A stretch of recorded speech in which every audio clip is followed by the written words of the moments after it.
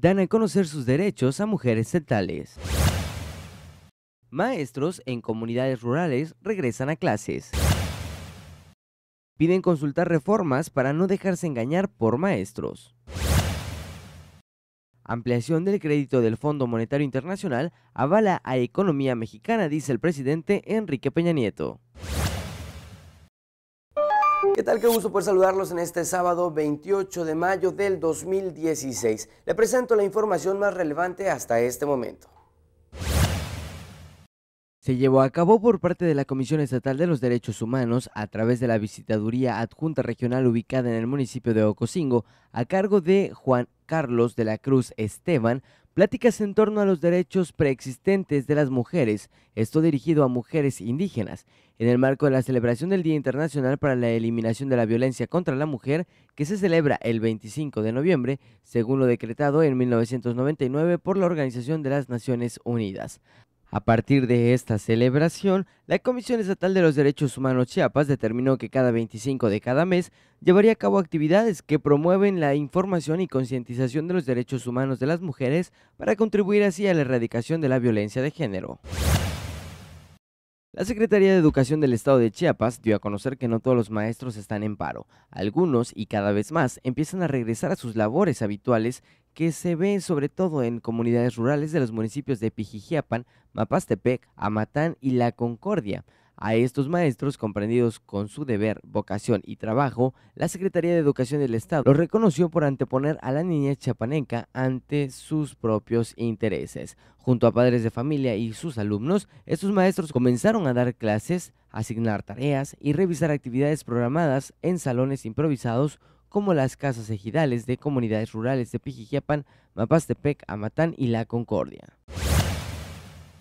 La Secretaría de Educación del Gobierno del Estado de Chiapas llamó a la disidencia magisterial agrupada en la CENTE a no difundir ni a atemorizar a la sociedad con falsos argumentos como que los padres asumirán los costos de la educación de sus hijos, por lo que en un segundo plano sugirió a los ciudadanos a consultar las reformas para corroborar que los argumentos presentados por la coordinadora son falsos. La titular de la dependencia, Sonia Rincón Chanona, sostuvo que la autoridad educativa ha sustentado sus acciones basadas en el artículo tercero constitucional que garantiza el derecho a la educación de calidad para todos. La ampliación y extensión de la línea de crédito flexible por 88 mil millones de dólares que anunció este día el Fondo Monetario Internacional es un aval de las fortalezas que tiene la economía de nuestro país, subrayó el presidente Enrique Peña Nieto. Resaltó que la expansión que solo tiene tres países, es un reconocimiento a una economía que está creciendo, una economía que está generando empleos, una economía que mantiene tasas bajas de inflación, una economía que está mostrando un mayor dinamismo interno. Durante la ceremonia de entrega de los premios de investigación de la Academia Mexicana de Ciencias 2015, sostuvo que el Fondo Monetario Internacional está haciendo al país sujeto de una línea flexible crediticia lo que brinda a México de un mayor blindaje ante el entorno financiero global adverso. En el Salón Adolfo López Mateos de la Residencia Oficial de Los Pinos, expuso que una premisa fundamental de su gobierno es cuidar la estabilidad macroeconómica ante un escenario mundial volátil, incierto, con una aversión al riesgo. En ese entorno, en esas aguas, estamos remando, dijo el presidente Enrique Peña Nieto. México ha actuado con responsabilidad precisamente para cuidar lo que los especialistas llaman nuestros fundamentos macroeconómicos, lo que da una mayor vitalidad y permite tener una buena carta de presentación de cómo está el desarrollo de la economía de México ante el mundo entero, afirmó el Ejecutivo Federal.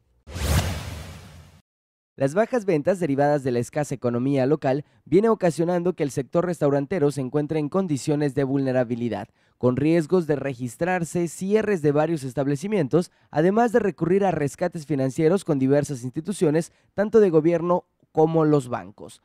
El panorama gris que viven los miembros del sector gastronómico fue dado a conocer por el dirigente de la Cámara Nacional de la Industria de Restaurantes y Alimentos Condimentados, la Canirac, Mario Guzmán Gómez. En este sentido, el dirigente restaurantero informó que durante los primeros cinco meses del año han cerrado 12 empresas de ese sector, en tanto que otros tres se encuentran prácticamente a punto del cierre de sus negocios. A más tardar el 31 de mayo se conocerán los nombres de los siete nuevos consejeros del IEPC. quienes estarán operando durante 7, 6 y 3 años en sus encargos. Lo anterior fue dado a conocer por la vocal ejecutivo del INE, María Emilia Domínguez Gordillo, quien adelantó que luego del fallo emitido por el Tribunal Electoral, se tomó la decisión que de la lista de 26 finalistas surjan los nombres de los integrantes del IEPC. Para TVO Noticia al momento de Cuarto Poder, Jorge Ceballos. Si bien hay logros importantes en el combate a la informalidad laboral, no se debe bajar la guardia y vamos a redoblar los esfuerzos hacia adelante con diferentes acciones, afirmó el presidente Enrique Peña Nieto. Dio a conocer que de acuerdo con cifras del INEGI, en el primer trimestre de este año, la tasa de informalidad laboral se ubicó en 57.4% de la población ocupada y que es la tasa de informalidad más baja en la última década. Durante la firma de los convenios para la ejecución de acciones en materia de formalización del empleo, el mandatario reconoció que la cifra sigue siendo alta, pues si bien hay entidades con tasas de formalidad mayores a 70%, hay otras que llegan a 80% en la informalidad. No obstante, destacó que en los últimos tres años, a nivel estatal, la informalidad laboral se redujo en 22 de las 32 entidades federativas y reconoció a los gobiernos de los estados por estos avances, al tiempo que expuso que 40% de los trabajadores que laboran en el sector formal generan 76% del Producto Interno Bruto. Momentos de tensión se vivieron ayer cuando docentes adheridos a la sección 7 del Sindicato Nacional de los Trabajadores de la Educación, en Chiapas, tomaron plazas comerciales, entre ellas Soriana Oriente y elementos de seguridad estatal y federal arribaron al lugar para impedir dicha acción. Como parte de la actividad del octavo día de paro de labores, los docentes tomaron tres distintas plazas comerciales, Plaza Cristal, Plaza Las Américas y Plaza Poliforum, para frenar la actividad económica de estas. Incluso, a la última plaza atrás mencionada, acudió José Luis Solís López, mejor conocido como el Espartaco, un comandante de la Policía Federal especializado en disuadir manifestaciones sociales a nivel nacional.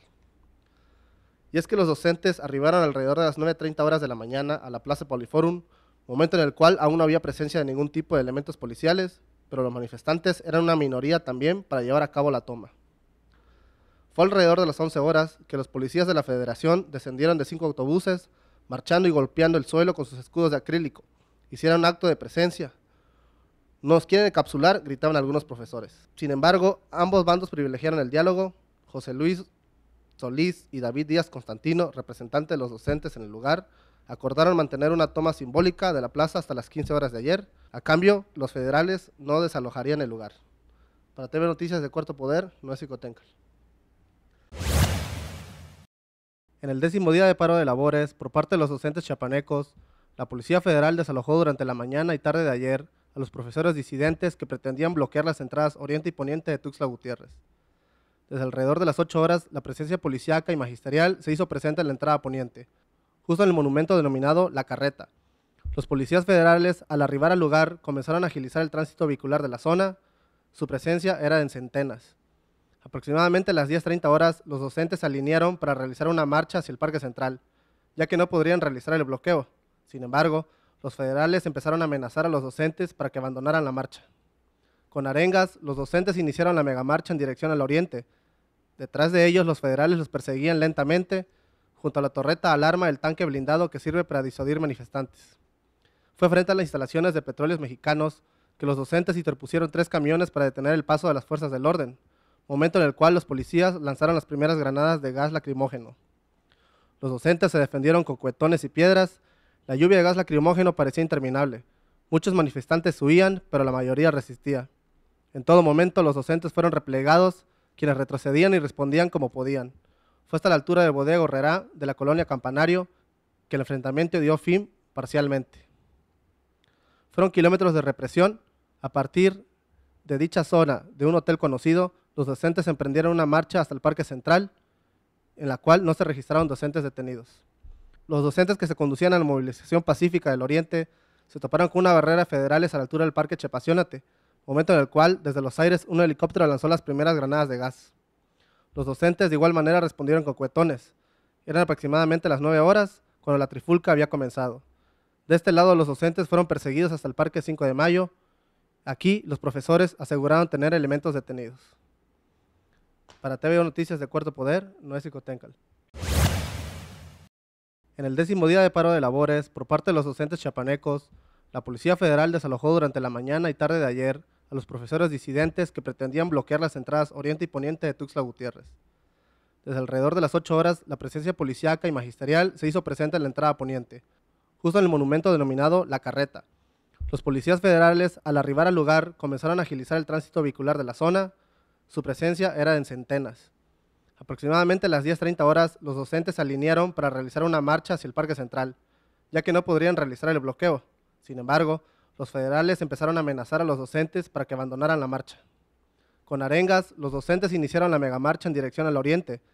Detrás de ellos, los federales los perseguían lentamente, junto a la torreta alarma del tanque blindado que sirve para disuadir manifestantes. Fue frente a las instalaciones de petróleos mexicanos que los docentes interpusieron tres camiones para detener el paso de las fuerzas del orden, momento en el cual los policías lanzaron las primeras granadas de gas lacrimógeno. Los docentes se defendieron con cuetones y piedras, la lluvia de gas lacrimógeno parecía interminable. Muchos manifestantes huían, pero la mayoría resistía. En todo momento los docentes fueron replegados, quienes retrocedían y respondían como podían. Fue hasta la altura de Bodega Herrera, de la colonia Campanario, que el enfrentamiento dio fin parcialmente. Fueron kilómetros de represión.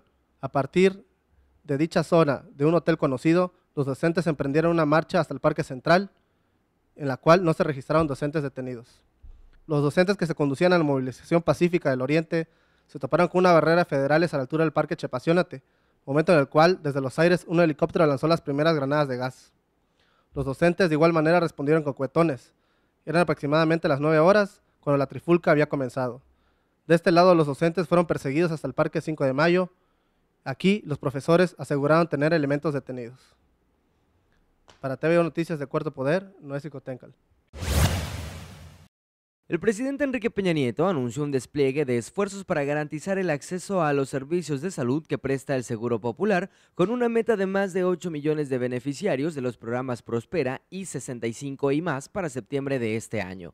Durante el anuncio del Seguro Popular Universal para los beneficiarios de Prospera y adultos mayores inscritos en el programa 65 y más, el primer mandatario dijo que se busca cerrar la brecha entre quienes cuentan con este beneficio y quienes todavía no tienen acceso a los servicios de salud. Destacó, por ejemplo, que quienes son beneficiarios de Prospera y no han inscrito al Seguro Popular tienen cobertura para la atención de solo 27 enfermedades, mientras quienes ya se inscribieron tienen derecho a la atención de 287 enfermedades, así como el suministro de medicamentos de forma gratuita acompañado de los secretarios de Desarrollo Social José Antonio Mit y de Salud José Narro Robles, el presidente dio a conocer que de 2012 a 2014 se redujo en 14% el indicador del número de personas que no cuentan con accesos a servicios de salud. En este sentido, destacó que el Consejo Nacional de Evaluación de Política de Desarrollo Social, el Coneval, reveló que en este periodo 3.5 millones de personas más tienen acceso a estos servicios, por lo que de 25 millones sin cobertura de salud pasó a 21 millones de personas sin estos servicios. El presidente Enrique Peña Nieto llamó a los beneficiarios de estos programas a que inviten a sus familiares y conocidos a inscribirse al Seguro Popular. El presidente del Congreso del Estado, Eduardo Ramírez Aguilar, aseguró que en el municipio de Chenaló se actuó de manera responsable para privilegiar la paz, luego de que el Pleno de la legislatura estatal designara a un nuevo alcalde Ramírez Aguilar dijo que el Congreso tomó una determinación para que las comunidades y habitantes de Chenaló trabajen unidos a favor del desarrollo de su municipio. En este sentido, reconoció el compromiso mostrado por la expresidenta Rosa Pérez, quien presentó su renuncia voluntaria al cargo para abonar a la concordia en su pueblo.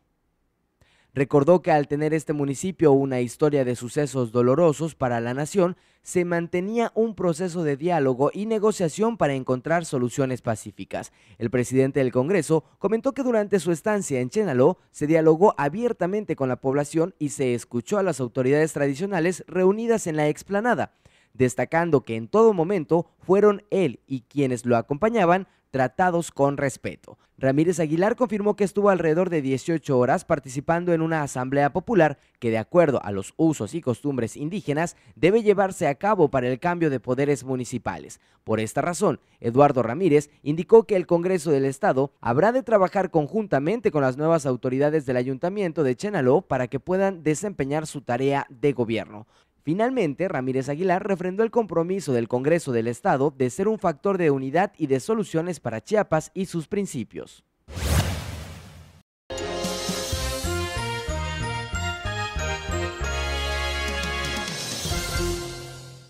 El Servicio Meteorológico Nacional le informa el pronóstico del tiempo para este 28 y 29 de mayo. Una línea seca mantendrá potencial de lluvias aisladas en Coahuila, San Luis Potosí, Nuevo León y Tamaulipas, que pueden estar acompañadas de tormentas eléctricas y granizadas, además de rachas de viento de hasta 60 km por hora en zonas de tormenta. Mientras que un canal de baja presión, en combinación con el ingreso de humedad del Océano Pacífico y Golfo de México, generará potencial de lluvias fuertes en Michoacán, Guerrero, Estado de México y Puebla, las cuales estarán acompañadas de tormentas eléctricas y posibles granizadas.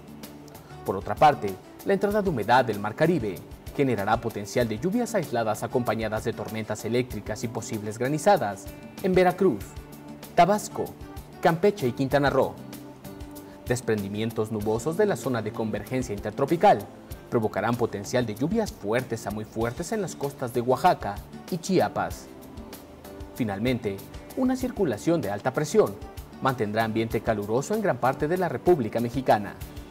A su vez, provocará vientos del sur y sureste, con rachas de 50 a 60 km por hora en Veracruz, Tabasco, Campeche y Yucatán.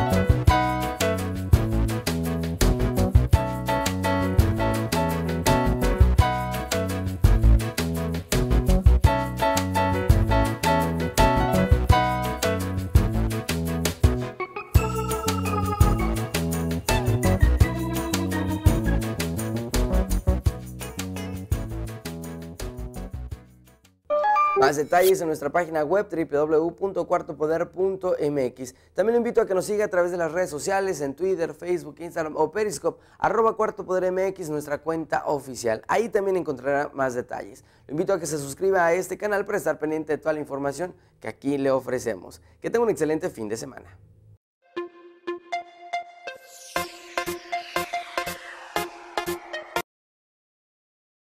Ponte en línea con Cuarto Poder. Ingresa a www.cuartopoder.mx. Encontrarás información local, nacional, espectáculos y mucho más. Suscríbete a nuestro canal. Encontrarás entrevistas exclusivas, reportajes e información al momento. Y no te olvides de nuestras redes sociales, Twitter, Facebook, Instagram o Periscope. También las puedes encontrar. Y la versión impresa, tu diario vivir.